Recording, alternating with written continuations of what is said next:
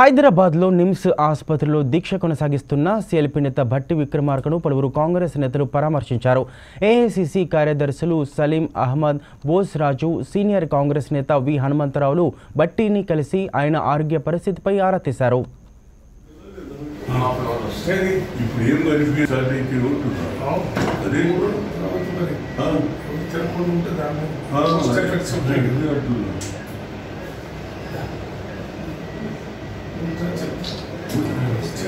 그래.